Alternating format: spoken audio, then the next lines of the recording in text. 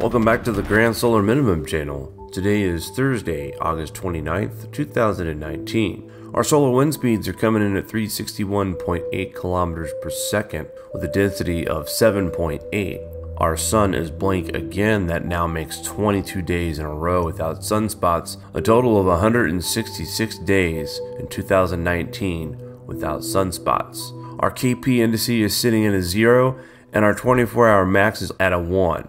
Taking a look at the SDO in motion, we are now looking at another coronal hole that is Earth facing, and we should see the effects from that between September 1st and September 2nd of 2019. Then take a look at our national forecast for the day. Severe thunderstorms are now in Iowa and moving east southeast right now as we see the threat for severe weather spreads all the way back to the Nebraska Kansas state line through Illinois into southern parts of Wisconsin. Other than that, chances for showers and thunderstorms through most of the south and southwest, even parts of Washington and Portland.